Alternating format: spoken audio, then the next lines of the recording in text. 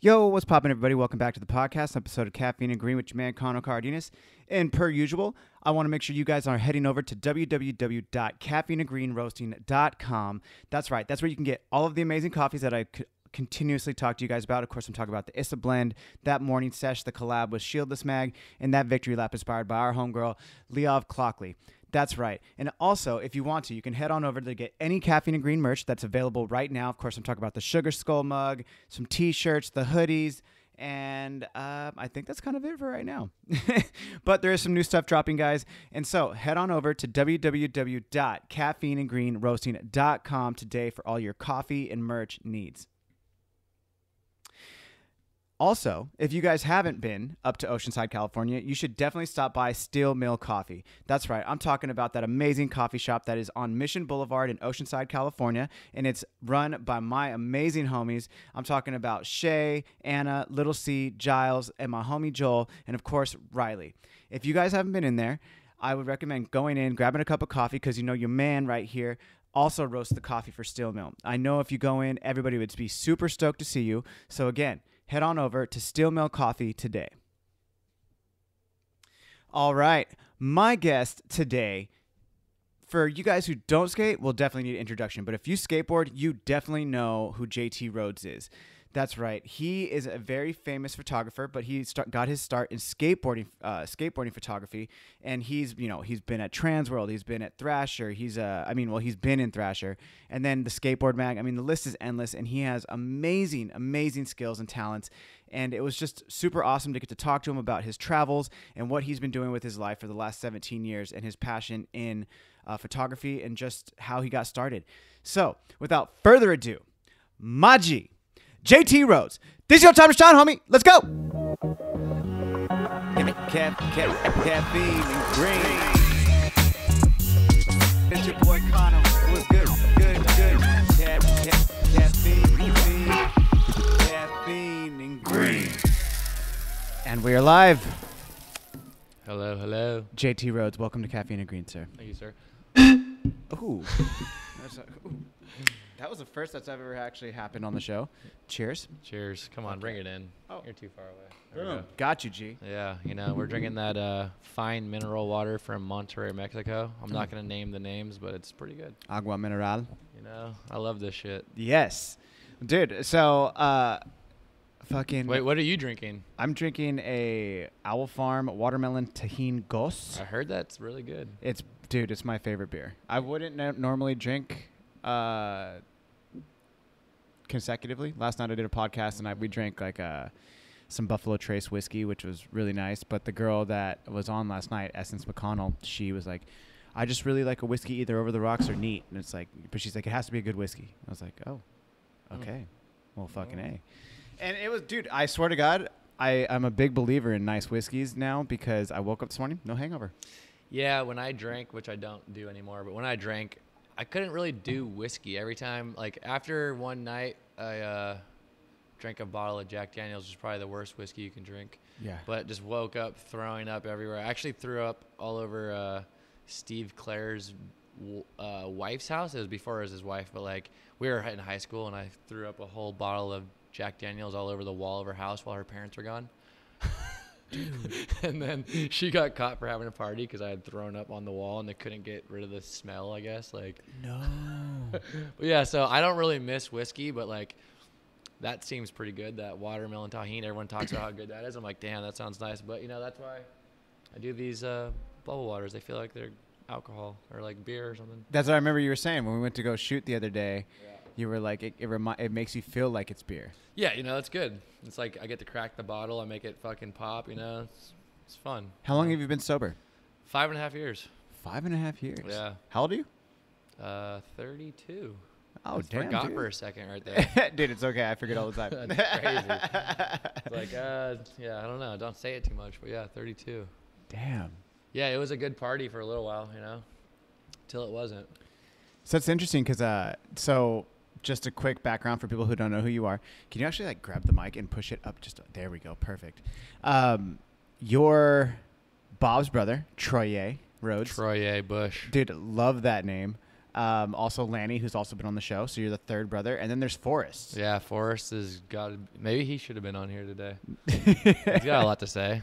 dude, you definitely got a lot to say. You tripping? Stop playing. I know. But dude, no. So you're the third Rhoades brother on the show, um, and like, well, the reason, one of the main reasons, like, we were we were shooting the other day Yeah, shooting in the the roasting. in the uh, yeah, The, uh, the roasting collective, Yeah, roasting collective.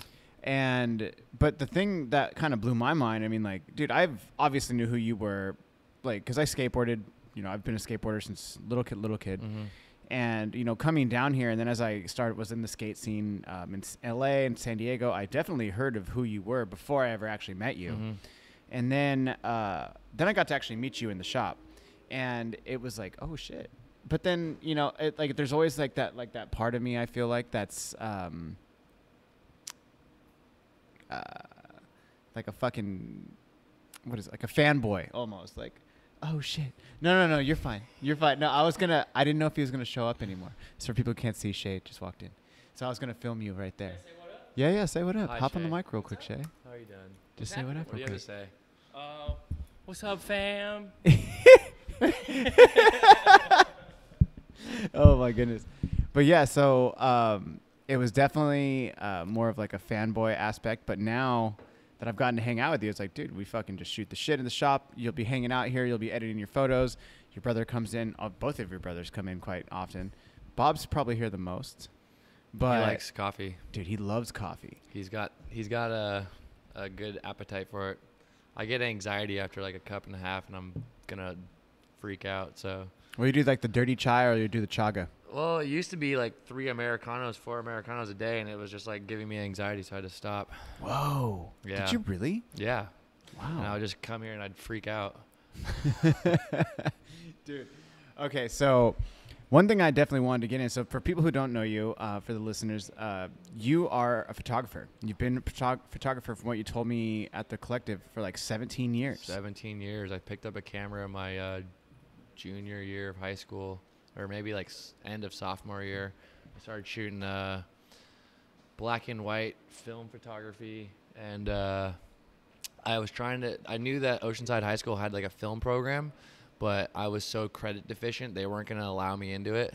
And I was like, well, this is fucking whack. So what the hell do I have to do? So I found out that MiraCosta had a program, and I was like, damn, I'll go to MiraCosta after school and smoke joints and just develop black and white photos in the dark room. And like, it really got me excited after the first roll. I think the first roll of photos I ever shot was probably the best photos I've ever shot, which is coincidence because I'm still doing it 17 years later, which is uh, pretty shocking, you know. But um, yeah, no, I got And why were they the best photos? Because I had no clue what I was doing and I wasn't trying too hard or something. I don't know. Um, but yeah, so like I went there and that was like a super fun experience. Like I had a bunch of homies in the class and we'd go, uh, we'd go smoke a joint in the parking lot and then go out and like go back to class and like they'd teach us whatever we needed to learn. But going in the dark room was just blacked out and you're just like watching, excuse me, watching this photo appear on a piece of paper that you Yeah. shot some light onto and you're like, what the hell is happening? Like, it's just such a crazy thing. And it just kept me going. It gave me a lot of drive to continue to shoot photos. And then, um, probably like after like six months to a year, I was like, I need to try something different. So I, uh, my friend uh, Brendan Klein, who's like a really good photographer, he, he worked at Transworld at that point, I believe, and uh, his camera bag got stolen at Jefferson Elementary School here in Oceanside or middle school, and uh, his whole camera bag got stolen, and he got a check from his insurance company to uh, get a whole new setup because everything was stolen. And then he worked also at the local camera store. It's called OPT. And he was working one day, and someone brought his camera bag in and was like, "Hey, uh, we want to sell this." And he's like, "Oh, really?" And he's like, "That's mine." In his head, you know. And he's like, "Oh yeah, let me take it in back, and I'll figure out uh, how much it's worth." And he went in the back and he just like told his boss like, "Hey, someone just brought in my gear. What do I do? Like, this is mine." And he's like, "Oh, call the cops." And he's like, "All right." and so he's like, calls the cops and he goes back out and he tells the dudes, he's like, "Hey, this was uh, reported stolen, so I had to let the authorities know, and um, they're on their way." And they're like, "Fuck this, we're out," you know. So they bailed, and then um, he had told me that he got his shit back, and I was like, "Fuck, dude, like, what are you gonna do with that extra camera?" I'd really be psyched to like get a digital camera and learn how to start shooting photos with that because I had no clue how to do it, you know, like, Mhm. and uh, yeah, he sold me my dad helped me buy it, but like he sold me uh, the camera for like two grand with like two lenses and the batteries and shit, and uh, that's kind of what started it, you know. That's Wow. like that. It, it, it's crazy from that term term of turn of events to like that's what like got me into shooting photos like of skateboarding more because like with the film it was like you can't really make it as well or like I you could make it then as a film photographer because that was like right when the transition was happening where everyone was going from film to digital. Mm-hmm. Like the camera I got was like four megapixels, which is Oh. like an iPhone's probably like 20 now at this point, you know. And it's like that was like 2006, I believe. 2006 is when I got the digital camera. So like I had been shooting for probably like six months to a year with the film camera, and then I got that, and it was like that. That really changed things for me. I was like out in the streets every day shooting skateboarding and just trying to like make something of it, you know. Yeah, yeah, yeah. Yeah. Who was the like the first dude you started shooting like consistently?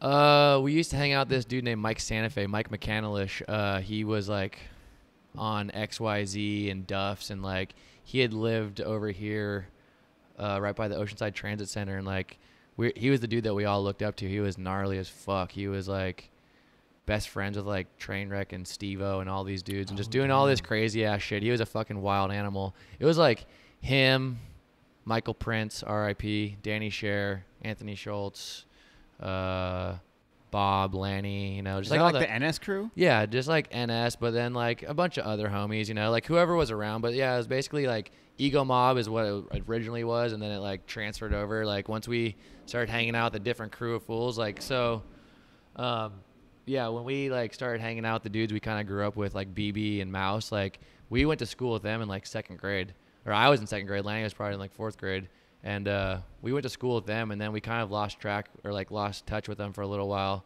and then we started hanging up back out with them, and they were like this fucking crew of fools that was NS no standards. They were super fucking rough around the edges. They were partying all the time, and it was like, oh yeah, we're hanging out with them now. And I was like, damn, these fools are fucking crazy. Like going to all these parties with these fools, like, damn, they're fucking doing some fucked up shit, you know? Like, but it was like, I was like 14 when I started hanging around them, and it was always like way beyond what I knew at that point because they were all 18, 17, you know, they're adults by that point basically, and it was like crazy just to see what the fuck their partying was like compared to what I had thought partying was when I was in middle school, high school, you know, like Well, yeah, you're 14. but yeah, so I started shooting with all those dudes, you know, like that's kind of where it uh, started, you know. Um, at that time, I was working at the local skate shop, Asylum, and uh, that's kind of where I really started, like, learning how to shoot photos. I was still fucking super dumb with it, you know, like I didn't really pay attention. I was smoking so much damn weed that it didn't really make sense to me to kind of like look into magazines and see w- what I should be shooting like. I was just shooting. I was just going for it fucking Yeah. every day, you know, and like um I had gotten to uh, the opportunity to shoot a photo for the local magazine called Automatic. It was like a skate mag. yeah, Like- I remember automatic. yeah, and so um, my first photo that I ever got ran in a magazine was uh, Mike McCannelish, Mike Santa Fe, and he was skating this spot right by his house because he never left like a one mile radius of his house. So like we just skated everything around here, and it was just like he had to get back to go smoke bong rips at his house, so he didn't want to leave. but uh, yeah, no, that was fucking super crazy, and um, yeah, after I got that first photo ran, which was a vertical photo, it was like they ran their ad as a vertical photo in this magazine. So like for a year, I think I don't, I don't think I shot a horizontal photo like the whole time because like everything's gonna be a fucking ad, so just keep fucking shooting like this. And it took me like a year to realize like, hey, what the fuck am I doing? You know, like I was just so fucking psyched on like possibly getting another fucking photo in this magazine. I think I ended up getting like ten ads in that magazine for the skate shop, and it was like that was probably which got me what got me so psyched to try to continue doing that. You know what I mean? Like Yeah. I just was super hyped on seeing photos in print. That's like how it started for me. Was like pretty much the first like three years I started getting within like two and a half years of shooting photos. Three years I started getting photos ran in that magazine. And it was like, oh shit, like I can fucking possibly do this. You know, like Yeah. so it got me super excited. Dude, that's super. Did so? Wait, super rad that you did all that. But you you were working at Asylum. Did you work there at the same time Pablo did? Yeah, I worked with Pablo. Pablo, the now very famous tattoo artist. Yeah. Yeah, he he used to sit in the back and just draw all day long, and like, I remember because I we'd always be fucking around. And I was like talking shit to him. I'm like, dude, fucking work. But he was my manager, so he'd be like, no, you work. And I'm like, oh yeah, you know. But like, I would Oh, just, yeah. I would just, I would just fuck with him because I mean, truthfully, he would yell at me all day long because I'd just be sitting there staring at magazines, trying to learn about photography. You know, like what the fuck is, where's that flash at? Where like, how did he shoot it? You know, like just nerding out. But then he'd be sitting in the back drawing some crazy ass shit, and I'm like, dude, you're fucking gnarly. And he wasn't even tattooing at that point. You know. Yeah, I've uh, well, I was the alien workshop and uh, well, it's the DNA rep. I was Yeah, the alien workshop okay, habitat, whatever else shit that they were selling at the time. And so I would that was one of my accounts. Yeah. So I'd go in there and they were like, "Oh, Pablo's a buyer," Yeah. and so I would go in and kick it with him. And then I remember like for a couple of years, I would see him and like he let he get like let us put our our sh- our, like, our homie video in there. Yeah. And then I remember the day he told me, he's like, dude, so like I'm starting this apprenticeship, like I'm gonna do this, and then all of a sudden he fucking just became this dude. He comes from a, a very artistic family. His mother is a very, very talented artist. She had an art show, fuck, 15 years ago up here at what used to be OPT, and it was the photo store. But like they had some art gallery downstairs, and fuck, she's a very talented woman. Like she makes like lithographs and like print transfers and like super crazy charcoal drawings and just like all this insane work. She's super super good, and I think it like probably inspired him, or he probably learned a lot from it. Because I've been to his house before, or his parents' house, and like there was art all over the place. She had easels and stuff up, and like she was constantly making art, I believe. So like I think that's what kind of taught him the the early stages of all that. You know, like Yeah. he he's very intricate with his work. His shit's super dude, fucking it's good. so gnarly. and So- he's he's blown up, you know, like yeah. But I mean, he's good at it, so it makes sense that he would blow up, you know, like I mean the intricacies in his lines, like the way he pulls the lines, and like the just how it looks. It's like, god damn, you, it really looks like a statue. Somebody will fucking hit it on on their body. It's like, yo, dude, like real talk, you got to do that shit. Yeah, no, it's crazy. Yeah, I mean, you know, I got a bunch of shitty tattoos, but you know, that's just the fun. I've never actually got one from Pablo, but I think his shit's probably too nice for me. Nah, nah, you just you pull it off. You just like for one day, just get like you know, have all your shitty tattoos. I have shitty tattoos as well, but then you know, just get like that really really nice one. I kind of almost gave up on the idea of getting any more tattoos. I'm like, I want to reverse my tattoos. Reverse them, like get them, rid- get rid of them. yeah, I'm like, dude, everyone's got sleeves now. I'm like, I'm fucking over it, dude. I'm going back to fucking no tats. Yeah. No, Mike Santa Fe, the dude that I was talking about, first photo I ever got ran, he was uh he was saying he's like, dude, I wish I had no tattoos. He's like, so many people got tattoos now. I think it's fucking it's like cooler to not have tattoos. And my dad was all, damn, he's all he thinks I'm cool. dude. Okay, so, so yeah, back to that. So yeah, so um you're shooting. Your I started shooting with the NS crew: Michael Yeah. Prince, Danny Sher, Anthony Schultz, fucking John Cleveland, uh, aka B John Mouse, BB, you know all the homies, Bobby Long, my brother Lanny, and um, I before I like even before I was shooting photos, I'd go out and I'd see Lanny because he's been filming probably like five years longer than I've been. I'm guessing five longer than I've been shooting, and like I'd be out on the session all the time, and like I'd see all these photographers shooting, and I'm like, damn, dude, like they're creating such sick fucking shit and like I don't really know how they're doing it, but I'm watching every day like very closely like what are they doing? How are they doing this? Where are they putting these things? Like what why are there flashes in the spots they're at? Like what tools do they have to make this shit work? And I was like always just like watching very closely and like breaking it down and um I just started asking all of them questions and befriending all of them as much as I could because I really wanted to be a part of this like skate scene because I already knew I sucked. Like I wasn't as good as any of my friends growing up, and like I was more accident prone than I was landing. So it was like, how can I continue to hang out with my friends and like go places, you know? And I was like, all right, well, Lanny films. I'm not gonna try to pursue that. I'll try to pursue shooting photos, you know. And like I was interested in it, you know. Like I I had the film camera and like it got me excited to try to go into the digi world. And then like I got some photos ran in those in that small local magazine, and at that time, Lanny was always shooting with the homie Blair Alley, who's from uh, San Diego. And Blair was working at Transworld that time, and he'd always stay on our couch because Transworld was, was in Oceanside. And uh, I was always just picking his brain 'cause I was like starting to shoot photos, and I was like, dude, is there any way like I had heard of this kid was interning from around here, and I was like, is there any way that I could get in there? He's like, ah, fucking guaranteed. He's like, he's like, once you got out of school, come fucking hit us up. He's like, you can do it for as long as you want. Like, it's an easy thing to do as long as you're willing, you know, and like you're willing to learn and try. And like, I was just like, dude, I want it so bad, you know. So like right out of high school, that was my goal. I was like, I'm gonna intern at this magazine, and uh, This is when Transworld was still like Transworld. oh yeah, it was. It, I mean, skateboard mag was around, so like they had lost some of their dudes, you know. But like Transworld's huge, and Transworld had like insane photographers: Mike O'Meally, Oliver Barton, Cu, Trin, Skin Phillips, Yeah. fucking Blair Alley, like all these dudes that were fucking doing it. And there's there's more that I that like I don't know if they were staff, but they were regularly contributing, you know. And like when I got to go there, I got to meet all these dudes. And I got to be a part of that because I started interning like probably like two months out of high school, you know. And I was actually there for three years. Um, my first year was like internship, and then after that, it was like a paid internship where I was like getting paid to do shit, you know. But like I had the opportunity when I first went there to like do some crazy stuff. And one of the first things I had to do was go through like 20 years of magazines looking for specific people in the magazine and like mark the pages with them on them so that they could run an article. And Skin Phillips was like the kind of the person that in the first year that I dealt with, he was the editor in chief and he like kind of uh, was like my mentor somewhat, you know?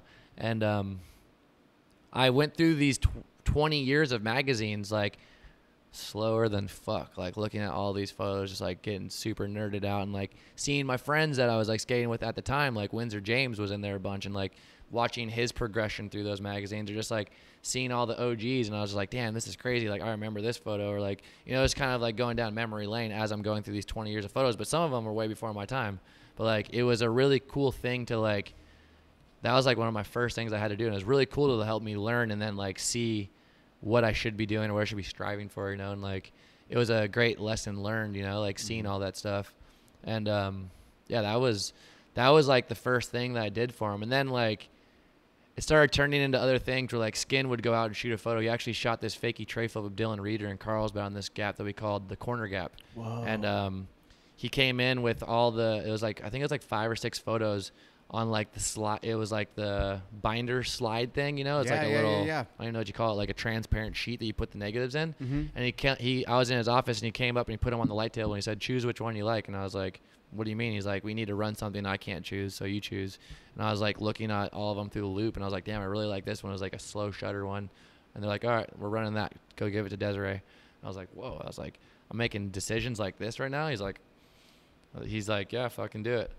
And I was like, that was like crazy to me at that point. I was like, damn, this is some fucking crazy shit. Like, and just learning how magazines worked and just like, I met so many people there. It was Uh, it was like going to college, you know, for the skateboard industry.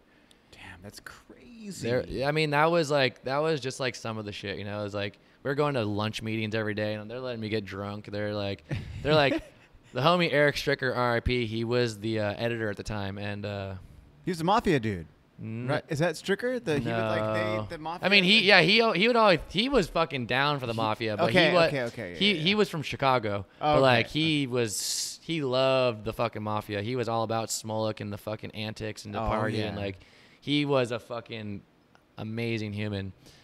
Um, he was the editor at the time, and like they would get fucking cases of Red Bull all day long. Like so much swag, you know, comes through there. But like they'd get stacks of fucking Red Bull like flats, where it was like thirty cans or some shit, you know. And he'd be like, "Take this over to fucking there's the corner store and fucking trade this in for an eighteen pack, three steaks, and some snacks."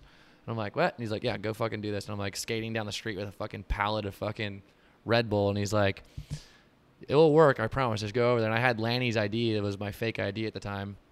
And uh, I would just go through there, and I'm coming out of there with all this shit, and I'm like, "What the fuck am I doing?" And that was just like what it was like on a daily basis. It was just like either we're going to lunch at Hooters, or fucking getting some beer from the liquor store, or like, but it was like business as usual. But it's like you know, drinking is part of the fucking skateboarding as well, you know. 100%. And it was like it was so fun though. Like I had such a fucking great time there, and like there was always so much shit happening. You know, it's like every day there was some different skateboarder coming in, or like there was all this swag coming in, and I could hook up all my homies, and like I basically was like a fucking rep. Flo- I was like rep flowing all my homies because I would just pull whatever I wanted out of the fucking out of the gear, you know, because they didn't give a fuck. They had so much shit. It was like it was crazy.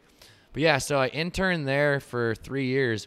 After the first year of doing like random odds and ends and just kind of learning the thing, like I started trying to push to like uh, do more. So like I'd be like, oh, I'll go cover this contest for you, or like I'll go do this, and like I was sleeping in my car at fucking Damn Am because I couldn't get a hotel and I didn't have any money, and it was like they're like, "Oh, you slept in your car for three days to shoot this?" like, yeah. They're like, "Fuck, that's fucking crazy. We would have never done that." I was like, "Well, I mean, you guys didn't give me a room, you know?" Like, Yeah, the like wait, they said as long as you're willing, right? Yeah, yeah. That's And it was like, said. you know, it was fun though, because I mean, I was sure I was blacked out by the time I fell asleep in my car, anyways, you know. So it's not like I was actually fucking too worried about it, you know. Like I had homies, I had rooms, but just like, oh, my car's there, I'll go sleep in it, fuck it, you know.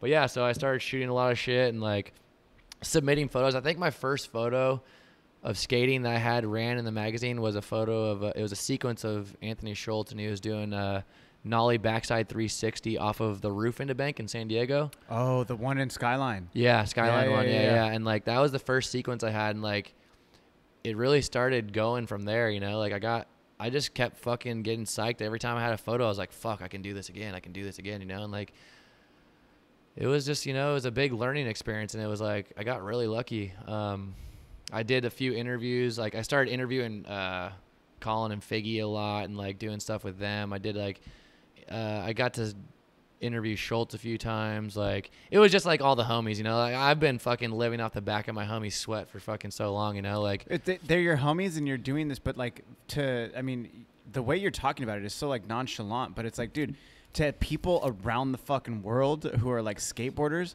the fact that you're like, I'm interviewing Figgy, I'm interviewing fucking Colin. I mean, granted, I see them all the time and it's like, they're just normal people. But like to the skateboard world, like, holy shit, that's like, yeah, I mean they're like some of the most monumental skateboarders that are on boards in this day and age. You know, it's like Still. they're yeah, and it's like they're gonna be the the fucking like the Penny and the fucking Smolik and the fuck like those fools from the '90s. You know, or like Yeah. even further on. You know, it's like they're they're leaving their stamp on the fucking game for sure. the OGs. But it's like, yeah, that was like I was constantly just trying to like find my way into posses of fools that were skating because like if my homie stopped skating, it was the end of me. So then I had to fucking like this is the end of my photo career. So I had to always keep finding new people to skate with. So it was like once the fools from NS were either like done skating or partying too much or whatever, I was like, all right, I need to find a new group of homies. So then I seen Figgy was like in the Birdhouse video. I forget what the name of it was, but he had a part in the Birdhouse video. And the uh, end. yeah, maybe it was the end. And like he was skating spots in Oceanside and I was like, Who the fuck is this fool? I was like, How is he coming to Oceanside? And like we're not skating with them and I was like, Fuck, I wanna hit this fool up and see how like we can go skate. And then I had found out that Stoogs was like taking him to spots, and I was like, "Oh, I'm gonna hit up Stoogs, like try to go skate with these fools, because that would be sick, you know." Like I wanted to shoot photos of people, you know. I think I had seen Figgy at uh, what is it? The fucking San Diego contest they did at like uh at the the Mission Beach at the Oh, roller like, uh, coaster. Am Slam or Slam, yeah. I think Yeah, I'd yeah, seen yeah. Figgy there w- one day when I was shooting it for Transworld, and I was like, "Hey, dude, like I saw you're in Oceanside. Who's taking you to spots or some shit?" Like just fucking with him, and I was like, "Let's go skate. Like I'm trying to shoot some photos, you know." And he's like, "Let's do it." And then like, fuck, that's kind of like how we started fucking like. I started skating with those fools, and like I'd go up to Irvine fucking regularly, and like they'd be down here at Stuke's house, and we'd just be smoking tons of weed and fucking trying to go out and do whatever we can to get tricks, you know. And it was like shooting some fucking pretty crazy stuff. Like I shot Figgy front salad La Jolla 18, which was fucking super crazy. Like. I think the f- I'm trying to think of what the first fucking photo I shot of him. I can't exactly remember. But like, dude, I've shot so much crazy shit. I think I've shot like nine tricks of that fool on Maryland's fucking handrail, like, or not even on the handrail on the stair set too. Because I shot his Baker ad where he tray flipped it, which was damn near probably 12, Just 13 14 years right? ago. Yeah. Yeah, yeah, yeah. Yeah, like in that photo, I mean, truthfully, I, am surprised Reynolds ran it because it. I shot it like shit. I didn't know anything about flash durations or anything, so there's like motion blur to it. But at the same time, it's like this dude's flying down a fucking 14 stair at like 30 miles an hour. So to the fact to stop that shit back in the day with those shitty ass flashes was so fucking challenging, you know. And like I still had no clue what I was doing. And I'm like shooting this dude that's fucking tray flipping a 14 stair. Like at that time, it was like no one's fucking jumping. down Nobody's shit like doing that. You know? Yeah, like, yeah, yeah. It was like he was putting his life on the line. I uh am super psyched I had the opportunity to shoot shit like that. You know, like Mhm. all those dudes are like the reason why I, if you could even say I made it, because I don't know fucking what the hell that means, but like the whole reason why I got photos ran in magazines and like made a name for myself was fucking because of those dudes. And don't get me wrong, like the NS crew was the reason why I started shooting photos, but those dudes are the ones that like really helped me gain a name because I did like Figgy Colin joint interview in Transworld in like 2009 or something like that, you know, and they were both like 18 years old, you know, and it was like I was out skating with these dudes and just trying to fucking make anything happen, you know? Like, Yeah. and I'm like, I'm fucking bringing wood to the spot to try to fucking get a photo because I'm like, I want to shoot these dudes because these are the fucking sickest dudes in skateboarding. And I was like, trying my hardest to make it fucking happen, you know? And like, Yeah. that was that was really fucking sick. I, I'm really psyched that like that shit worked out the way it did because now these dudes live in Oceanside. You know, it's like It's crazy. It, it it's super crazy to like. Again, you know, I grew up in Northern California, and I grew up. I mean, Figgy is younger than me, but I also was like skating the CASL competitions. mhm. I remember watching Figgy eat shit at like a state championships at like uh, the Ontario Vans. yeah, He fucking tried to kickflip back 50 like this gnarly fucking rail there and pre-mode fell all the way down to the bottom, slammed his fucking face on the ground, gets up, does it. Yeah. I was like, what the fuck? You He's know, a I- fucking savage. he's a savage. But Colin, I don't know if Colin was skating there, but like Riley was there. They're all they're all Like, CASL kids. Dude, they all fucking killed it. I never went to one CASL contest. I didn't know. Any, I didn't know anything about it. I didn't know what the fuck that was. I mean, I wasn't skating at that level anyways, but like I had no clue what it was. Like Yeah.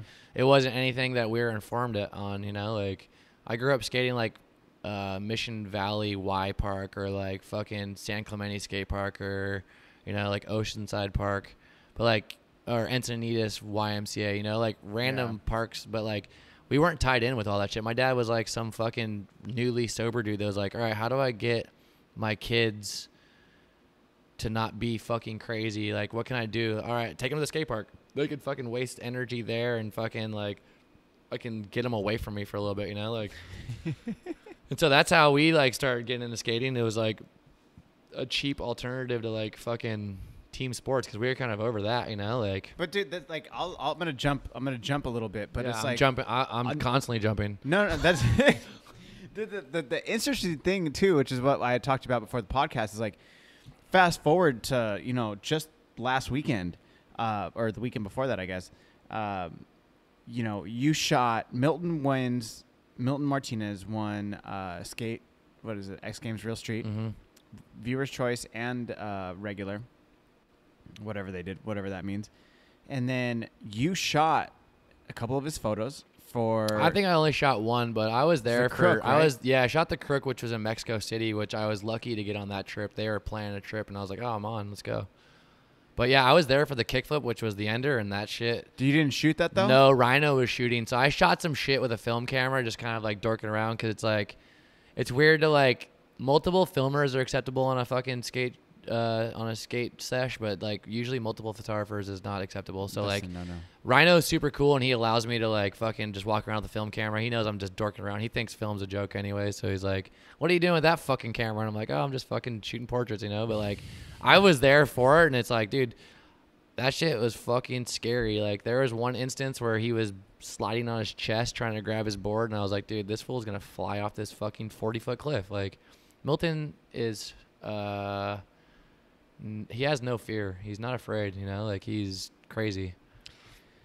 But yeah, I'm very. that's well. That's what I was gonna say. Is that like Lanny filmed it and like he got a gold medal because he filmed his whole his Yeah, whole Lanny- part. the Rhoades family. Lanny brought the gold to the fucking to Dude, the O. you guys are X Games gold now. Nah, not not us guys. Lanny is. We're just we're, we have the same last name.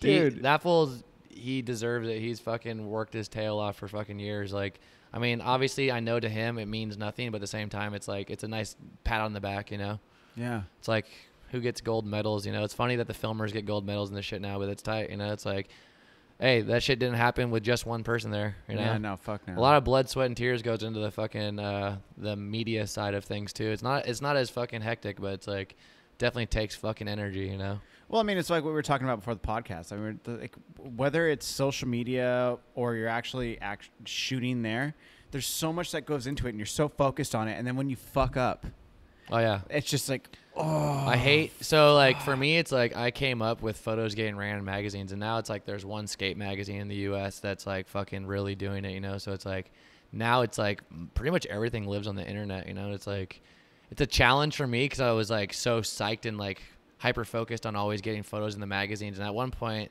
I was getting fucking 15 photos a month ran, you know, and it was like tons of ads, tons of fucking, uh, tons of fucking like editorial, and it was just like it's it's so challenging now, you know. It's like because you're competing Thrasher probably has 200 people contributing to every like sending shit in. They're not getting it in every magazine, but there's people fucking that many people sending in photos. You know what I mean? And it's like it's a fucking hard market to fucking to make it in. So it's like a lot of people shit.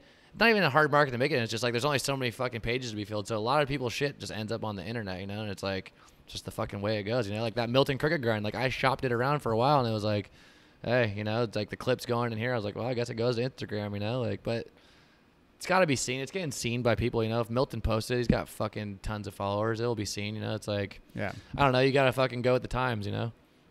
Do you, you know, seeing as I mean, like, well, actually, it's a two-part question. There's shop, there's magazines in, I mean, in Canada. There's and like also obviously in other parts of the world. Do you do they reach out to you? Do you reach out to them to run to run photos? Uh. I've had stuff in like Canadian magazine, which they did reach out, but I think it went out of business. Like I, I shot a cover of Riley for this mag called Color Mag, and uh, it was like a black and white cover for a mag called Color, which is hilarious.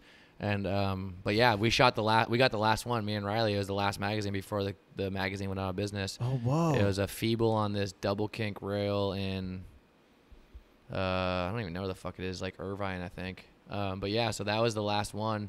And then I've had some stuff in Australian mags like Slam and shit, but uh, it was always when it was an Australian. It's not like they're not really necessarily hitting me up like, hey, let me get a photo of Milton for our magazine, which I'm sure they'd like it, but I think it like works better if it's a photo of Milton in Australia, you know. But like also they just every magazine needs content, so it's like if they're hurting for content, I'm sure they hit up photographers and are like, hey, send us something, you know, like we need a Milton photo, or we want a Milton photo, you know, like. But yeah, so no, I don't really have uh foreign magazines really hitting me up for like fucking photos, you know. I mean, everyone's everyone's got their photographers, and then it's like there's only so many pages to fill other than that, you know. And it's like, I'm I'm on the CD team. Do you like? But you were at one point. You were on like the A team. Ah, maybe a B. B. Yeah. Nah. you know, but it's like, it's what it is, dude. It's like there's fools with seniority, and then there's like fools with fucking good photos, and then there's dudes that like can shoot photos, but you know, I don't know. It's just like whatever. Yeah, I mean, you know what? It's like I've had so much fucking fun with this shit, and the fact that I've been shooting photos for 17 years, and like I've got like what I've got out of it, you know, like this has been my job for the last 17 years, minus some other random side jobs every once in a while and shit. But I've been shooting photos with my friends, traveling the world, fucking having fun. It's like, how can I fucking be mad? Dude, well, that I mean, that gets like I feel like that's a really good segue. Like you go to Eth- you've been to Ethiopia Yeah, six times. six times. Yeah. Dude, I've, I've been to Africa eight times. I went to Morocco twice as well, and I'm trying to travel more of it. It's just like the thing is, I need to be based in Africa to really travel Africa because it's a fucking long travel from here, and it's like to fucking fly home from Ethiopia and then fly back to fucking go to Egypt. It's like what the fuck is the point? It's like I'm trying to move to Ethiopia for like a year or two and just like make that my headquarters and just go to all these places, you know, like circle the circle the fucking continent and do that, you know, because it's like there's so much shit there and it's so fucking cool and it's, just different, you know. well, like- what led you there? So we got on a job for uh, Penny Skateboards. Our homie Brad Hooker was working. He moved out here from Australia, working for Penny because that's where they're based or they came from. And um, met him through the Australian homie, Australian homies, the homie Jack Kirk who uh, rides for Hoddle Skateboards, and like he was coming out here a bunch, and because he rode for Inside, I believe is why I initially came out. But like, you know, we have Oceanside's been a very big hub for skateboarding. We have so many fucking people that come in and out of here from other countries, and just like we've we've built a good scene around here, you know. And um, yeah, so Brad came here, and we were introduced to him through Kirksey, and he's like, "Oh yeah, I'm moving out here. I'm gonna be working for Penny," and uh, this was like probably like two years after he came here. Like he got me a job shooting Chris in the Soy, and like him skating a bowl, and the, and I think it's called the Bible Bowl, and it's in like Costa Mesa or somewhere up there. And then like just a bunch of random jobs. And he kept feeding us jobs because he was just like, oh, it's homies, whatever, you know. And then one day he's like, so uh, we had this conversation with this dude that we met that uh, started this nonprofit in Ethiopia, and we wanted to get them to make a board with Penny, and then we're gonna go out there and document kids skating and all this shit. And he's like, you guys want to go? And it was like Lanny, myself, Bobby, BB, Shay, Paco, and then Brad was supposed to go. And right before the trip happened, he ended up quitting his job because there was like some crazy shit going on. And he's just like, dude, I can't stand this fucking business anymore. He's like, I gotta get out of there. And it was like come on, just hold on until we go, because he's the fucking most hilarious person ever. And he's like, nah, I can't do it. I'm fucking over. I got a new job offer, and I'm out of here. So we ended up having this other homie Dave come, that used to work for like Vans and iPath, Ohio Dave. But like, yeah, so we um ended up going out there to document this board that they um had this collaboration they had done between BB, Penny Skateboards, and Ethiopia Skate. And uh, they had just finished building their first cement skate park out there. It was like 60 volunteers came to build a skate park, a concrete skate park, and uh, we got there the day it was finished, which is weird.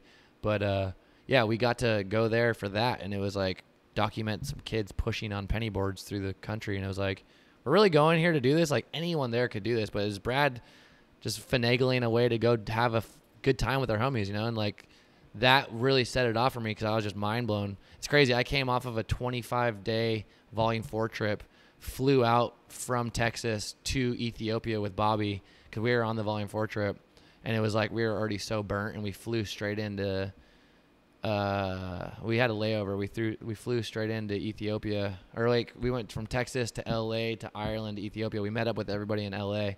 It was like Lanny and BB and Lanny and BB and Shay and Paco were all sucking down fucking red wine because it was like free wine the whole flight or free drinks and like BB's teeth were fucking red and he's just like fucking cross-eyed, which is he's always cross-eyed, but he's a little more cross-eyed on the flight. And it was like, I mean, it's a 24-hour fucking flight, dude. It's fucking insane. An Like, entire day.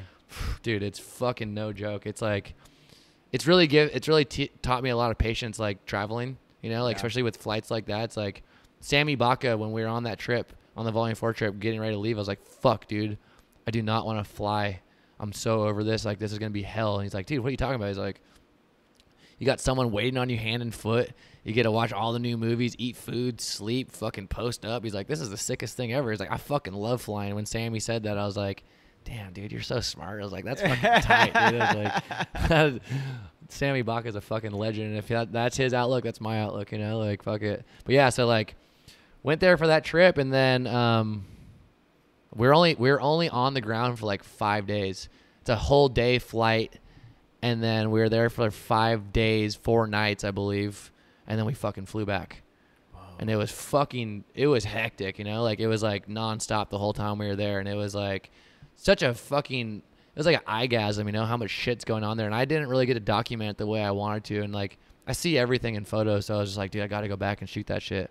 And the homie Sean, Sean Stromsoe, who like was one of the co-founders of Ethiopia Skate, he hit me up like a year later, and he's like, hey, we're uh gonna build another park out here, and he seemed really interested in it because I kept in touch, and he's like, if you want to come out here, I'll pay for your food and your lodging if you fucking pay for your flight for this build.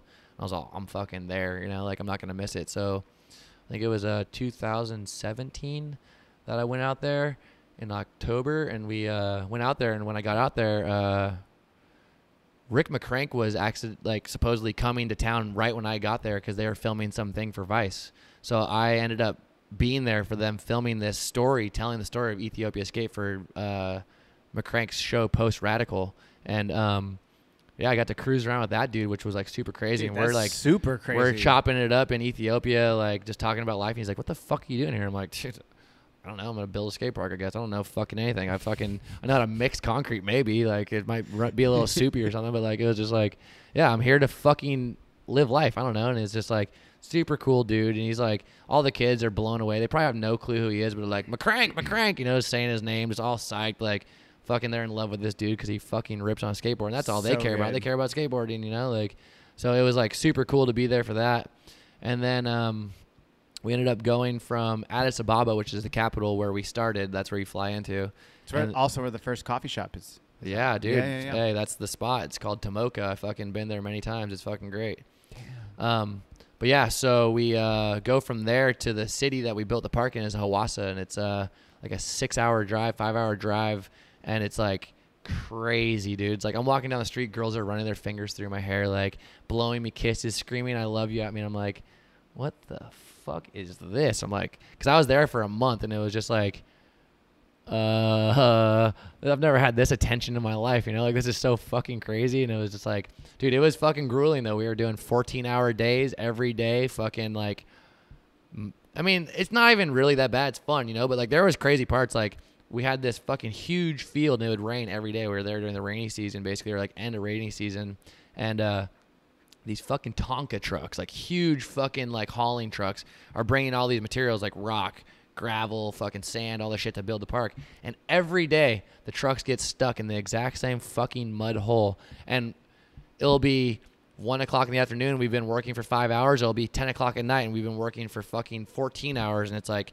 we gotta get this damn three ton, five ton, whatever the fuck this huge ass Tonka truck out of the fucking mud. And it's like I'm finding myself on my hands and knees or on my chest, like shoving rocks under the tires, and like we're all pushing as a group, like trying to get. The, it's like So, so, you can get some traction. And oh, shit. Oh, yeah, dude, it was Yeah, like- yeah. you know, you really learn how to do stuff in a fucking country that doesn't really have a lot. You know, it's like all the tools are constantly breaking. You fucking get a shovel, just the piece of metal, and you have to find the fucking stick to fucking make it so that it's like able to be a shovel. You know, it's like there's just so much shit that makes it like super challenging, but it also makes it really fun. You know, and it's like I got really psyched on building, being a part of that and building the park and meeting all the kids is like the coolest thing. You know, it's like meeting all these kids that show up every day that are super fucking psyched to like, we're going to have a skate park or like, they don't even fucking really know what it is, but like, we're going to have this thing where we can ride this thing. And it's like, this is a place for us, you know? And it's like, they're showing up every day and they're trying to help, but they're really just getting in the way. But it's like, it's super fun. They're having a good time. We try to let them help build their spot, you know? And it's like, so park got almost finished before I left. I was uh, overstaying my visa if I fucking would have stayed any longer. So, oh, kicker to this story though. Mark Red Scott, the dude that like helped build fucking Burnside, who owns Dreamland, he came out for seven days, quick flash in the fucking pan to come help, and like somehow I was his driver. I was driving him around in my homie's car and like taking him to get cigarettes or like I was also helping him build this like vert wall that they built and it was just like I was with this dude every day and he was fucking madman, dude. Like it's like where do you get chewing tobacco around here? And I'm like, I don't know. And then one of the kids like, You fucking can't find that here. Yeah, And he's like, Ethiopia, bro. You get cigarettes. So this dude was fucking horking down cigarettes all day long. Just like I swear he was chewing on them. I fucking don't even know. Like this dude's fucking crazy. But like he walked straight on the job site and he was like looking at some forums that were down. And he's like, Nope, these are wrong. And just straight kicked them out of the fucking ground. I was like, Oh, this dude is not playing. Like this is fucking crazy. But yeah, that was a really rad experience working with that dude and just like getting to kick it with him and just seeing how he operates because he's a fucking legend in like skateboarding and super talented skateboarder, but he like kind of started this whole like great skate park fucking revolution, you know, that builds these huge, really nice, good parks all around the fucking world, you know. Like he was one of the dudes, you know, but like um yeah, so I was on that build. I had to go home and I fucking left right before the flat bottom got finished because it was like project was running out of money, people were getting sick. One of the dudes got malaria, fucking it was just like tensions were high. There was fucking like battles between countries. Like there was a bunch of French builders that hated the American builders. The American builders were like beefing with the Australian builders. It was like getting kind of fucking crazy. And I was like, well, I can stay. But I was like, you know, I think they'll finish. it. I gotta fucking go anyways. I was like, I'm out. And then I came back like eight months later. We got hit up to do some job for Adidas, and we were like, it was like Adidas mainline was trying to sneak in some job for Adidas skateboarding, but didn't make anyone Adidas skateboarding aware of it. So then we uh, ended up doing this job where we were shooting all these kids in product for them because they were trying to tell this story, but this was like the preliminary shoot to see if it would work. And they sent out all this shit and it got fucking jacked at customs. Like they fucking ended up picking through the boxes and like all that was left was like size 11 shoes, extra large shirts, and like all the shit that wasn't gonna fit kids that were shooting it on. It was like we're shooting these kids after, and it's like this kid's wearing a shirt down to his knees, and I was like, this is fucking out of control. This is never gonna work. But yeah, so I got to go back to the skate park after we finished that job for Adidas, and so it's like a six-hour travel. So we went over there, and like I got to the skate park, and all these kids just started running at me to give me a hug, and I was like, whoa, this is fucking crazy because it was like eight They months. remembered you. Yeah, they remember me. It was like eight months later, and I'm like, these kids in Africa, Ethiopia to be exact, fucking care about me and are like running, screaming my name to give me a hug. And I was like, whoa, this is fucking crazy. I was like, what a trip. Like, I, I don't know if I affected them, but they cared enough to come running to give me a hug. And I was like, this is fucking crazy, you know? And I was like, that moment right there, I was like, I'm going to fucking donate a month of my time every year to just fucking go help somebody, you know? Like, and not even help somebody, just go build something that, like, maybe changes somebody's life or, like, whatever the fuck.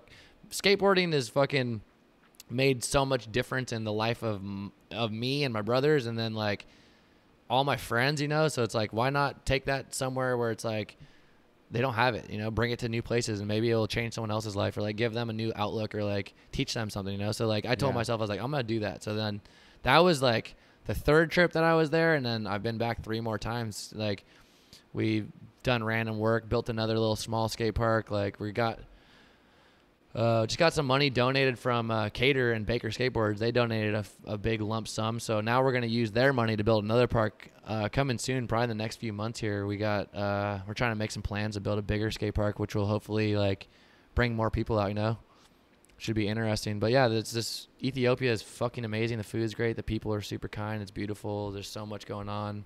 You know. I don't even know where to like. I, No, no, no. I could talk about that shit forever. You know, I was gonna say, let's pause real quick. yeah, Go to the bathroom. yeah. People fucking shred or just like Yeah. going to the beach, staring at tits, whatever. You know, like. um, but yeah, so like, he's just like super open to me traveling with him because he's like, you're easygoing and it's fun and it's like, you have no schedule because I don't really have a fucking schedule, you know, and like which can drive me crazy at times. But like, it's very fortunate to have these opportunities for not having a schedule, you know. Yeah. But yeah, so um, we're doing like probably a month around Spain, and then I think I'm gonna go. I'm planning on tr- possibly going to Copenhagen. I mean, everything's so fucking up in the air. I could end up in fucking Morocco. I don't know, you know. But like, um, I'm gonna go to hopefully go to Copenhagen. I know Lanny will be there with all the creature dudes, and like there'll be tons of homies. It's fucking one of the biggest skate events of the year for partying and just like shenanigans. Copenhagen Pro. Yeah, and I think it'll be cool to like document the scene and just like I mean, it's not like I will be the only person with a camera there, but I love shooting photos and I'll see all my friends and it'll be fucking cool. So I think it'd be cool to see depending on how everything goes with all this fucking COVID shit that's going on in the world. But um yeah, and then from there I'm supposed to go to Poland and uh, hang out with Tom Tom Remillard, he has a house there, and he said that I could stay. But I mean, this is all so fucking. I live every moment by the seat of my pants. I don't really try to make too many plans, so it's like everything could change in a fucking heartbeat. Like someone could hit me up, be like, "Hey, there's a job." I'll be like, "All right, I'm coming home." You know, like I don't know. It's like, it just depends. But like, yeah, I do. I fucking enjoy traveling, and it's like, I've lived in Oceanside and Southern California for 32 years.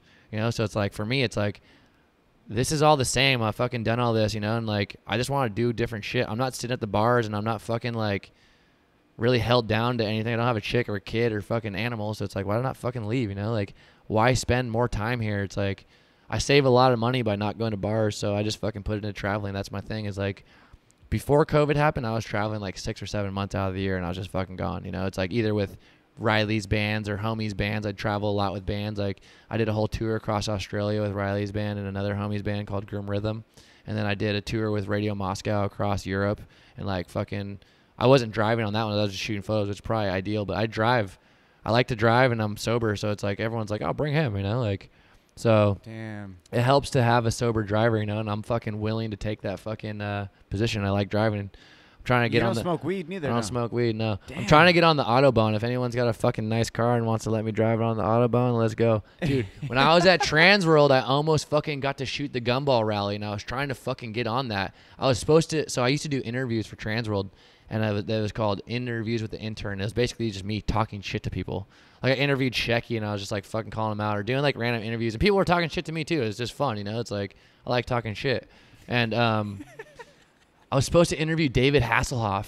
And Stop it. fucking, I was like s- 18, 19 years old, and I was like trying to get into this bar to interview him because it was like the end of the Gumball 3000, and fucking, they fucking denied me at the door. And dude, if I if I would have fucking interviewed David Hasselhoff, I had so many fucking jokes that I was like, I was like, dude, I was so excited. Like it would have been the sickest fucking thing because like, I don't know what it would have come of it, but it would have been just fucking cool to have, you know? it Like, definitely would have been good. but you know, like I just like to talk shit, and I think it would have been fun to fuck with him. So I was on a job with this homie Dom.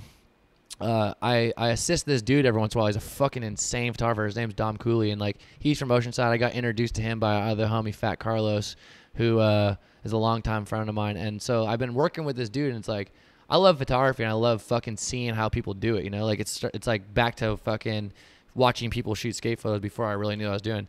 This dude's an insane studio photographer, so like I get to kind of shadow him around the fucking world. We've been to fucking all these different places, and I'm like helping him set up while he shoots photos, and I get to learn from him. But yeah, so we went to go shoot uh, Dale Earnhardt Jr. and Stop fucking it. we're Whoa. we're at his uh, it's called uh, Dale Industries. It's where he fucking like so he I don't know if he's racing professionally anymore, but he like he fucking hooks up all the racers' cars with his super secret fucking like I don't even know like engine components and fucking like racing components of the fucking shocks and the fucking tires, whatever he does to make like a fucking winning vehicle or whatever, you know. And uh, we went there to shoot, and like I basically I'm not there to be like the best. They call it digitech. Like I'm fucking sitting on the computer, kind of running the computer as the photos come through, you know, and like. I'm not fucking smart to be like the best or like know too much about it. I'm fucking doing the basics, but I'm not really there to be the technical guy. I think I'm really there to break the ice and just talk shit, you know?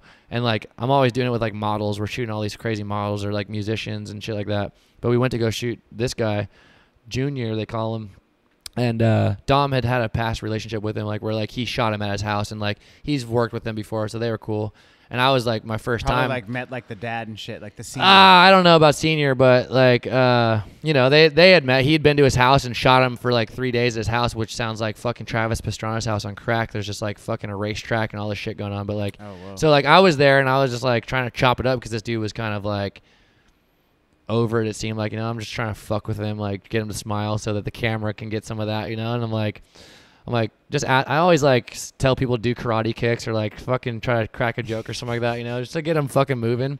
And I was like, I was like, what are your thoughts on Talladega Nights? And he's like, the movie. And I was like, yeah. He's like, I don't know. It's like it doesn't really pertain to like anything that I do. And I was like, isn't it a movie about racing cars? Like, what do you mean? That's what you fucking do, you know? And he's like, fucking Dale Earnhardt, Yeah, Earnhardt yeah. Jr. I was like, isn't it? Isn't the whole pr- preface of the movie is like driving cars around a track and like the dudes that do it? I was like, damn, doesn't pertain to you, huh?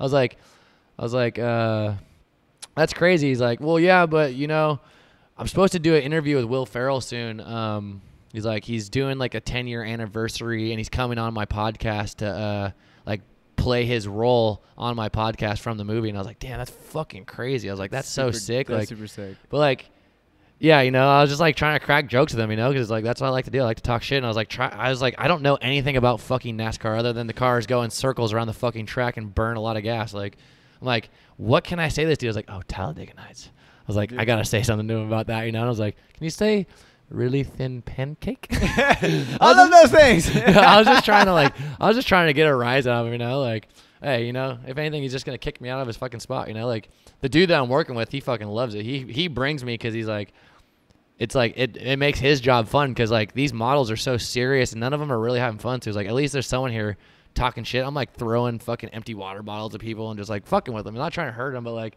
trying to get them to jump around, you know, like do something. It's just always so fun, you know, like that shit's fucking super tight. I'm lucky to do that as well.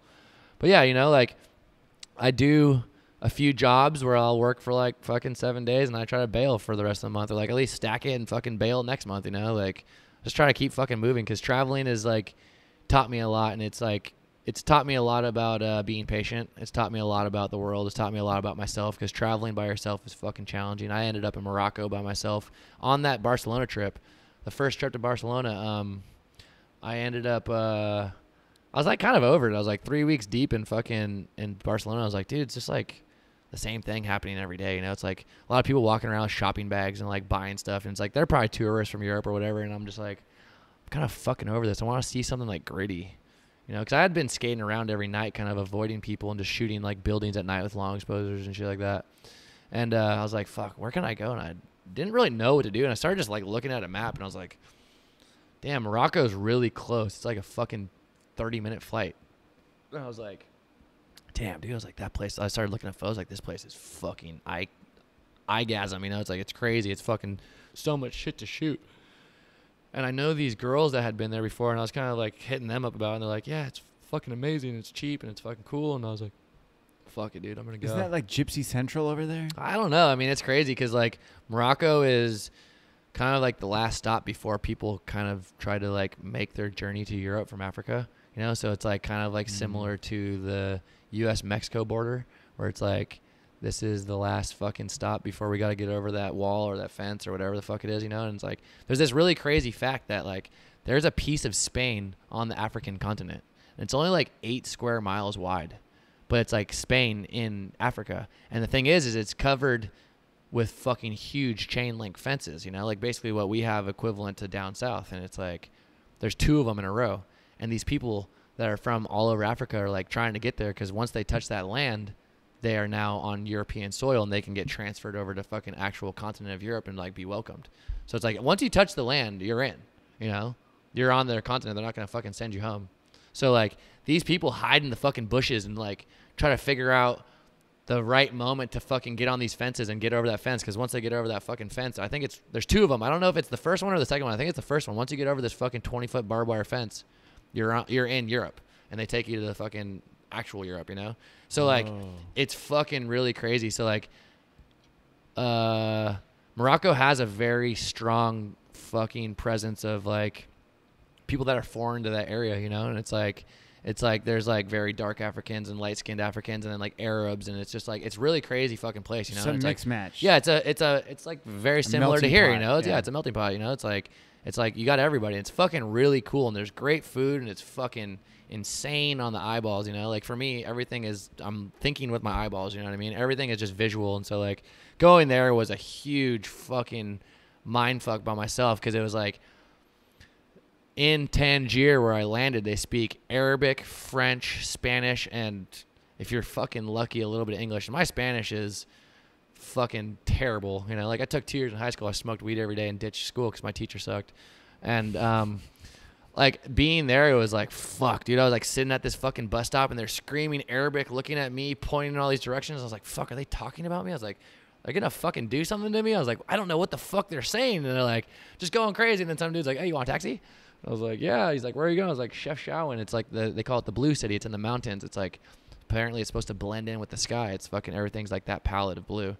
And they're like, All right, they're all you can pay double and be in front, or you can pay like the normal wage and being back with five people in the back of a, a Mercedes Benz. And I was like, fuck that for two and a half hours. I'll pay double. It was like probably like 15 20 dollars. I was like, yeah, whatever, you know. And so I went on this two hour ride with these dudes that mostly only spoke Arabic, and they're just bumping music, and we're cruising through the hills. I was like, damn, this is fucking sick, dude. It was so fucking tight, but it was like all those things of the unknown of traveling to somewhere by yourself. You don't speak the language. You don't fucking know anybody, and you're just showing up, and it's like, dude, what the fuck am I doing? Yeah. You know, and like I'm so scared getting out the plane, and I'm like shaking, and I'm like, dude, I don't know what the fuck I'm doing here. Why did I do this? You know, and then like a day in, you're like, damn, this place is so amazing. What the fuck was I tripping on? You know, and it's like yeah. that's like my new high. I don't fucking drink. I don't do drugs. It's like I fucking get high off of fucking. And it's not even new. Like I've been doing it for like since I got sober. My first trip was like four months in. You know, like five months in. I was like, yeah. So Ethiopia. The first trip to Ethiopia was four months in because I got sober in January and that was in like May.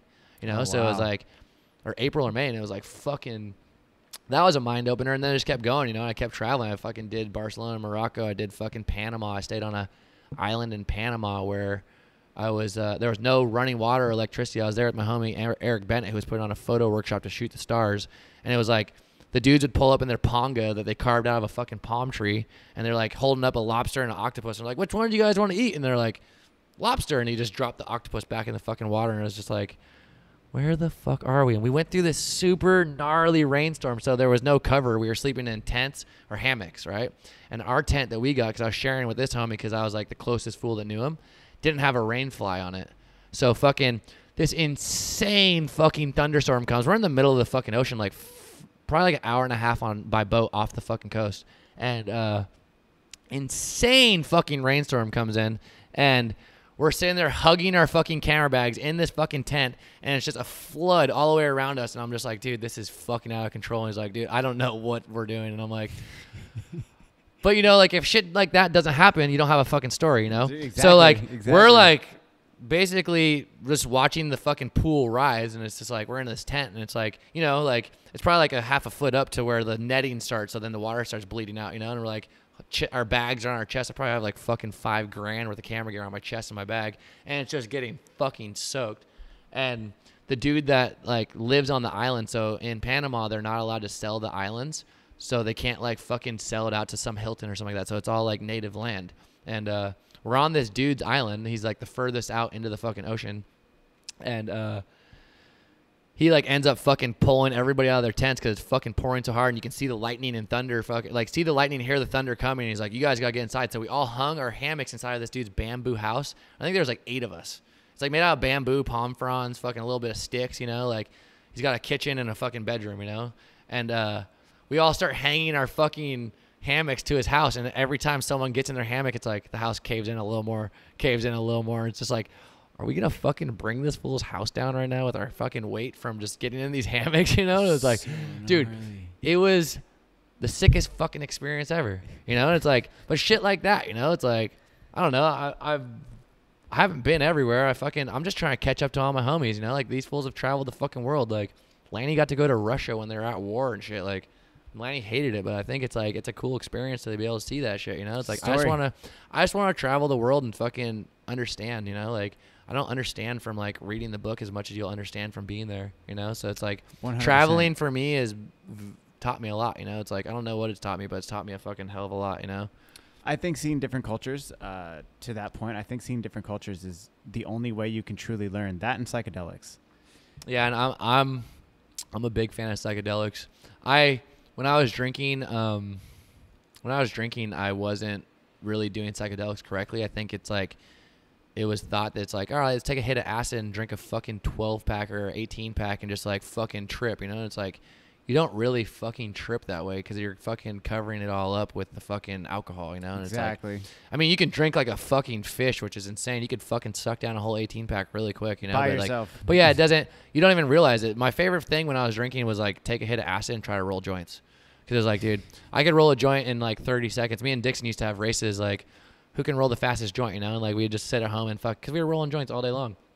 And uh, when you get on acid, it would take you fucking 30 minutes to roll a joint, which I used to roll in 30 seconds sober, like sober, not on fucking psychedelics. And you're just like, your fingers don't work right. And you're just like, uh, Nah. I don't know. Why doesn't it work? You know, you're just like tripping, but like, no, um, so I was like kind of going through a dark spot through uh, COVID, and like someone recommended that I fucking uh, start microdosing, and like I was very indifferent to it because I was like sober in big quotations, you know, and like I hadn't done anything in five years, and it was just like fuck, dude, I was depressed, you know, I was like hadn't worked in fucking almost a year, I hadn't, I couldn't really do too much, you know, not not everyone was skating because certain people were weirded out, and I was like, I wasn't even shooting a ton of skateboarding that time, like, so I was just like in this huge limbo, and like I could surf and do whatever the fuck I could, but like it wasn't really helping. Someone's like, you need to try microdosing, and I was like, all right.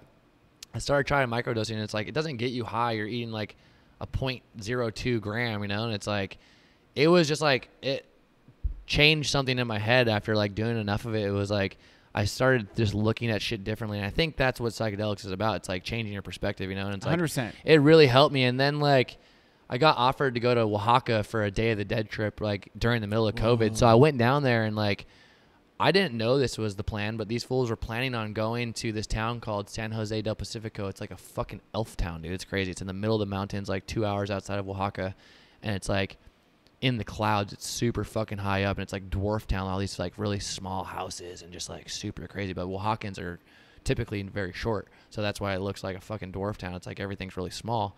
And my homies are like, "Yeah, we're doing a fucking mushroom extravaganza trip," and I was like, "Fuck, dude, I don't know if I can fucking do this. It's like against what I'm like trying to do, you know." And then like we got all the way up the hill, and I was like, "I'm not gonna fucking do it. I'm not gonna fucking do it. I'm not gonna do it," you know. And we pulled up to this little hut, and it was just like in the middle of the clouds and just like green and lush and fucking super rainforest. And I was like, "Fuck, dude!" And like everyone's getting out of the car, and I was like, "Fuck, fuck, fuck." I was like, "Fuck it, I'm gonna do it." I was like, "This is like, this is like."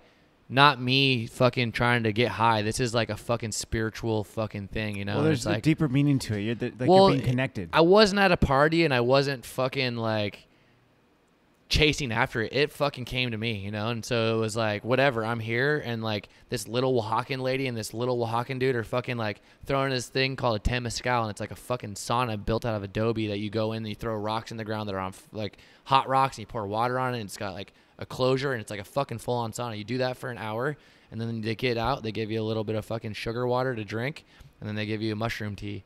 And like I was super nervous about doing it and like I, just didn't want to break my edge or whatever the fuck like i'm not even straight edge but like break the sobriety and um i ended up fucking doing it and like dude I, I think it was like six or seven grams of mushrooms with the fucking liquid tea and then the Oh mushrooms inside of it and like they had fucking mud on them and like you could taste the grit of the rocks and the sand and shit and it was like holy fuck and i was like I was scared to eat all of it because it, it was the first time I was gonna be tripping like that in so long, you know. And I was just like, I can't fucking do this. And I think I left like, it was probably like a fucking, I don't even know, like this much, and mushrooms probably like the fucking size of a bottle, like the bottom of a bottom of the bottle or the can or whatever, you know. And it was like with the tea. So it'd been steeping for fucking a long time. Apparently, they said like two weeks that that shit was just steeping, and um, we were like after the sauna, we're gonna walk down into the jungle, and it's Day of the Dead happening that day. Fucking fireworks going off everywhere. It's like we're in this valley on the hill, but like there's bigger mountains around us, and people are shooting off fucking fireworks that don't have any color. There's fucking big explosions, and I started tripping as I was walking down the hill, and I felt like I was in like the Civil War. I was like walking down the hill with my like clan of people. There's like eight of us doing it, and then the little lady that like had fucking bananas and fruit in her bag for us, and like we're walking down the hill, and like I just hear and I'm like looking around. I'm like, what the fuck is happening? Dude? I'm like, we're at war. Like, what the hell is going on? Like, I don't like. I just started tripping out of nowhere. I'm like, I don't know what the fuck's going on. I'm like, this is fucking crazy. Like, they're shooting at us. Like, just tripping. And I'm like, dude, this is like so next level. And then some girl starts crying. Like, there's just all this shit going on. Some kids throwing up as we're walking down the hill. Like, there's like three or four first timers on that trip, you know. And like, I mean, I was basically a first timer. It'd been fucking six or five years since I'd eaten any drugs, you know. And it was like at least at that level, you know, besides the microdosing. But it was like, holy shit. And so we got to this one spot. She's like, all right, we're going to stay here, you know? And she's like super quiet, super nice. And like, we're going to stay right here. And I was just like, all right. And I see this tree and I'm like, oh, that's my fucking tree. And I just go fucking like lean up against this tree, just like curled up. And I put my fucking jacket on my head and like, I could see a sliver of light out of it. And I was just like, all right, we're here, you know, like tripping and like I closed my eyes and I just started seeing that scene in the movie where the bomb goes off and it goes from like black to white, black to white. It's just like in my head because I'm hearing these fireworks and it's like doing something to my brain where I'm like seeing this and it's like flashes of light and like dark and I'm just like, what the fuck is happening to me? You know. That happened for two hours, and she fucking told us we got to go, and so we started walking up the hill. But it was a fucking insane trip. But like, it did so much for me. Like the mm-hmm. stress of not the stress that you can acquire from like not partying and just like not giving having that thing to let go every once in a while, you know, it built a lot of uh, tension on my chest and like my head, and my brain, and my body, you know, and like that trip really cleansed me of all that, and it gave me a whole new appreciation for certain shit in my life and just like kind of how to live, you know, and it's like Yeah. it actually was so huge for me like to do that, you know, and I didn't think it was gonna have the profound effect that it did, but it like really fucking changed a lot of shit for me. So like I saw it as a very good thing after that, you know, and like I talked to my dad about it, who's been sober for 25 years, and he's like, Bill W, who's the dude that started AA, he's like, Bill W was experimenting with psychedelics for the first like 10 years of his sobriety, and like, it's like truthfully, it's like, what's worse? Is it like doing antidepressants or is it fucking taking uh, mushrooms once a year to like fucking try to clear your brain or like fucking flip that switch to get you back into a better spot, you know? And it's like, I gotta do what I gotta do to fucking keep myself fucking straight, you know? Because it's like, dude, I fucking can go insane in the fucking snap of a fucking finger. Because it's like, shit just builds up on everybody, you know? It's like everyone has that thing. It's like I smoke weed, I drink, I fucking do hookers, whatever, you know? It's like, it's like you, everyone has this thing that they use to release, and like when you're sober, it's like you don't fucking have that. So it's like everything just builds up on you and stacks on you. And it's like if you're not like that's why I started getting into yoga, where I was doing two fucking Bikram yoga classes a day and running and surfing and like because if I don't fucking spend all my energy, it's like it builds up and it turns into a problem. Mm-hmm. So like that was something that really fucking helped me like get a, a lot of shit off my chest, you know. And I think that there are tons of benefits to that shit, you know. It's like it's been demonized, but it's like people got to look at it in a different way, you know. Yeah, no, I completely agree. I don't. Yeah, I drink here and there, but I definitely have uh, stopped smoking weed. I haven't smoked in a while, and um, mushrooms has definitely become like the outlet. But it's like I'm not. I'm not doing it every day. It's just like it's like when I need to chill. There's a big difference between eating fucking an eighth of mushrooms and eating like a half of a gram of mushrooms, you know, because it's like you're not you're not tripping on it and it's not fucking gonna kill you, but it's like there are some fucking crazy effects that it can do for you, you know. And like well, it clears your brain, like like what you were saying, like relieving that shit off your chest. Like when I, I'll usually eat like 1.2 to 1.4. Yeah, I mean that's and that's like a that's like something that will definitely change the way you see things, you know. But it's like Yeah. you're I don't think you're still necessarily tripping, but like I I had eaten like some point fours and it was like holy shit, like my fucking chest started beating. I was like, damn, I think I fucking ate too much, you know. And I'm like, this is fucking crazy. But I wasn't like visually tripping, but it's like it can start giving you that anxiety of like what the fuck's happening around me type shit, you know. But Mhm. it's like, you know, I think there's a lot of benefits to it, and I think eating mushrooms is better than smoking cigarettes, smoking weed, drinking. Like it's better than all that shit for sure. Yeah. You know, and it's like It's natural. it's from the earth, and it's like I think that we've demonized a lot of things from the earth. You know, and it's like uh, don't knock it till you try it. But the thing is, you're not gonna be able to try to get fucking all the fucking people that are making laws to fucking do it. You know, Dude, it's like the the Brotherhood of Eternal Sunshine or Eternal Love. Have you heard of them? Mm-mm. I think that's what it is, Brotherhood. They were trying to dose the whole world. They were like part of. They were like homies with Timothy Leary, and they were fucking like. I have this homie that I met. His name is fuck. I knew him through this dude I was getting fucking weed from, and like he was one of the main dudes, and he was telling me stories where he was like smuggling drugs from Iraq in the '60s and Afghanistan, where like he would go and get like vintage fucking musical equipment and like fill it full of drugs, and then transfer it to Europe, and then transfer it to the states, and it was like, huh, you know? And I'm just like.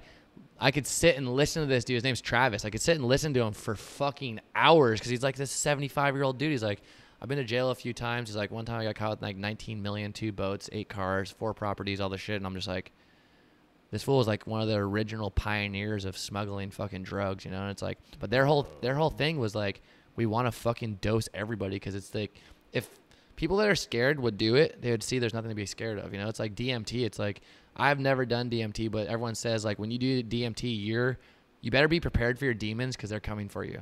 Thing is, you have to fucking fight your demons. It's like a fucking video game. It's like you fight your demons to clear yourself of your fucking internal problems. You know what I mean? It's like Yeah. that's kind of the same thing with mushrooms and acid. It's like you have to fucking know that you're gonna fucking f- have to fight some shit in there. You know what I mean? It's like Yeah. it's like a game. I don't. I definitely have had. I definitely have demons, but every time I've ever done psychedelics, and the reason I'm such a big advocate for psychedelics is because of the fact that every time I've done them, whether it was acid, whether it was mushrooms, haven't done DMT, um, Neither. I, I've come out a better person from it. Yeah, I mean, in my I, opinion. I I um I've had bad trips, but then when you look at them after, you're like, oh, that wasn't actually as bad as I was playing it out to be. But it's like maybe you're just overwhelmed. But I mean, I think you have to be you have to walk cautiously with that shit because you know some people have um some people have fucking problems with in their head. You know, some people aren't as fucking Exactly. stable or so, aren't as uh, secure with themselves, and it's like if you don't have a strong mind, sometimes that shit can fuck you up. So it's like Yeah. you gotta fucking do that shit in doses that are small and work your way up. Unless you want to fucking be a supercharger and go big, but it's like it could have some effects, you know. And like I mean, we've are some effects. we've lost some, not like lost some friends physically, but like mentally, like that have just Yeah, like gone off the edge because they've done too many drugs. And it's like you see all the people that are homeless on the streets, and like everyone has a different story, but I guarantee you a lot of those people have fucking problems with drugs and fucking problems with their fucking brain as well. And like when you mix those two things, it can really fuck some shit up, you know? It's like, Well, that can happen on just off of weed. oh yeah, I mean, So dude, it's one of the homies in Ethiopia thought he was a fire breathing dragon from smoking weed and fucking doing this shit they call chat. It's like coca leaves and it's like an amphetamine. And like, dude, he asked me if he if I could feel the fire that he was breathing on me, and I was like, fuck, dude, like it's insane how fast you can lose yourself. My dad, when we were growing up, always said, like, see a fucking, we'll see like a, I don't want to call him a homeless, but like someone that's just down and out on the street, you know, and he'd be like, he's like, you are one brain cell wall width away from being that dude at every fucking moment of your life. He's like, very cautiously, if you're gonna do drugs and fucking party, know that that is something that you can turn into. Like, don't allow yourself to fucking do the wrong shit and end up right there in that position because it's like it's hard to come back from that, you know. And it's like it happens every day in society, you know. People fucking fall off to the streets and drugs, and it's like, where'd your homie go? Where'd your son go? Where'd your fucking dad go? It's like, oh, he's on drugs, living in a tent down at fucking San Luis Rey on the riverbed, or like living on the streets in L.A. or some shit. And it's like that shit can fucking hit anyone super hard, you know. No, I completely agree, and that's also another reason why it's like, you know, I don't ever try to be like, you know, rude to anybody, especially people who are less fortunate than we are. I am. It's just because, like, dude, that shit can change in a fucking heartbeat. The it way- can change it that quick. The way my grandfather raised me was you treat the dude that cleans the toilet like you treat the dude that owns the toilet. Exactly. You you don't you don't judge anyone until they give you a reason to fucking have that thought to judge them. Mhm. You know, because everyone's fucking going through shit and like we've been very lucky to grow up with a lot of good examples. My dad moved homeless people that were on the street into our house all the time, like let them live in the garage or the backyard, or like we've had fucking meth heads and fucking drunk people. I grew up in fucking AA, like going to the fucking meetings before I was fucking, you know, I my dad got sober when I was like seven years old, and like I've seen every fucking walk of life. And before that, my dad was a fucking party animal, drug addict, fucking everything, you know, like. The whole reason we ended up right here was because my dad was dating a hooker and she fucking was our babysitter, and uh, she got in trouble, and my little brother was in the car, so they took uh, him to Child Protective Services. And my dad had to get sober, and that changed our whole entire life. You know, and it's like a fucking really crazy story that like probably could be told another day, but it's like it's fucking like Big John's whole life changed, and that changed our life. You know. For the better. Oh yeah, fuck, hundred percent. Because I'd be a fucking meth head, or like all the kids we grew up with are dead or in, in jail or on drugs. You know, like for the most part, like from that era when my dad was still partying. Fuck. But you know, like we got a good life. We're living it up, and we're fucking happy to be here. You know, And we'll leave it right there. It's Yeah. 120. respect, motherfucker. Dude, Thank you very much. thank you so much, JT. Yeah, hope that hope that did something for you guys. Dude, I, that's the quickest an hour 20 has ever gone by. I mean, like, I'm sorry I have to cut it a little bit short, but like, No, dude, it just we will. opens it up for another one. You know. Yeah, no, I mean, th- this is like when you get back from your trip, we'll sit down again. Yeah, we'll bring in somebody else. You know, let's get fucking Milton in here. Dude, let's fucking get Milton in here. Let's get fucking Shay in here. Cause dude, when Shay gets in here, he gets a little saucy. He's just like, oh, dude, he gets. you know, little, I, I like to have drunk people around me because I think it just brings it brings fun to the table, you know. And it's like if he comes here, I'll fucking shotgun some beers for him and make him drink them so we can get him really turned up. well, Wade bogs his ass. Bet. All yeah, right, fuck yeah, let's do it. all right. Thank you so much, JT. Thank you. All right, peace. Yes, thank you so much, JT. That was an amazing episode, and dude, that dude is, has some of the sickest stories that I've ever heard, and I can't wait till he gets back from Spain with the stories that he's gonna have then. Again, thank you so much, JT. I really appreciate you coming through the show, brother. And guys, like normal, I want to say thank you to everyone around the world who continues to support Caffeine and Green by listening, getting coffee, whatever. I see you guys, and I appreciate every single one of you guys. So please, also, if you haven't already, hit that subscribe button. We're streaming on Spotify, YouTube, Apple Podcasts. You name it, we're on it. That's right. Head on over to caffeineandgreenroasting.com as well to get all your coffee needs. And guys, lastly, please take care of each other. I know things are getting still crazy out there, but show mad love. Take care of each other. Wear your mask, don't wear your mask, whatever. Just be cool, and I will see y'all next week. Peace.